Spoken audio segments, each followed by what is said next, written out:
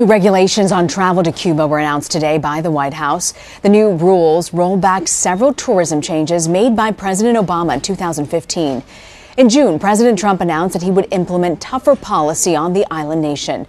The changes take effect tomorrow. Steve Dorsey has been following the story and joins us now from Washington, D.C. with the latest. So, Steve, what specifically is outlined in these new regulations and what, what are the biggest changes for Americans? Well, Rena, these new rules specifically bar Americans from doing business with many entities in Cuba run by the Cuban military, the intelligence service, the security service there. It outlines dozens of hotels, shops, bars, tour groups, and other entities that the, Cuba go- the Cuban government runs that are prohibited uh, from Americans uh, to do business with. It also, most importantly, prevents Americans from going to Cuba and traveling there independently.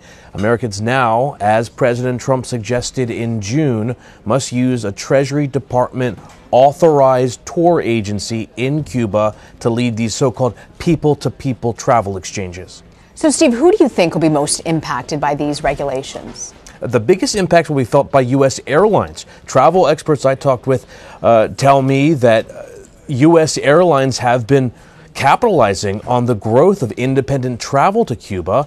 The other uh, sectors that will be affected are cruise lines and Airbnb. They will benefit the most from these changes because uh, Airbnb primarily uh, benefits citizens in Cuba opening up their homes to Americans, which is what uh, the, the Trump administration wants to channel American business away from these entities run by the Cuban government and directly to the Cuban private sector. And cruise lines already run group tours. They've already announced uh, itineraries that in- include stops in Havana, and they will benefit as well. Yeah, you don't think about tourism and how it could really help transform and, and, change that country.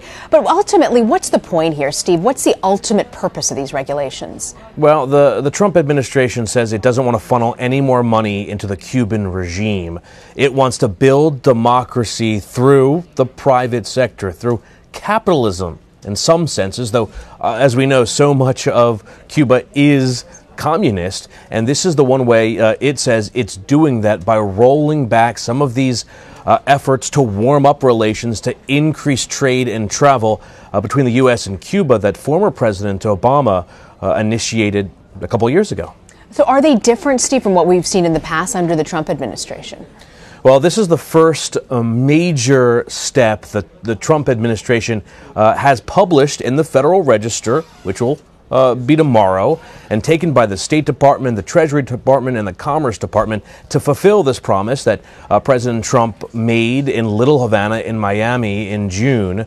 Uh, and, and experts tell us that, that we could be seeing more of these because remember, this is on the heels of not only these promises made by the president in the summer, but also uh, reports that began in August, broken by CBS News, about these attacks affecting U.S. diplomats working in Havana over the past year. You mentioned those attacks, the acoustic attacks. Does any of this have to do with those attacks on U.S. Well, diplomats? Well, a senior U.S. A government official tells CBS that that these new changes have nothing to do with these acoustic incidents, as this person describes them. Uh, however, uh, it is clear that uh, it is an important factor in the discussions regarding the U.S. relationship with Cuba. This certainly uh, does not help the U.S. relationship and doesn't build a case to, uh, to liberalize any more of the trade or travel relationships between the two countries. Steve Dorsey in Washington. Thank you so much, Steve. Thank you, Reno.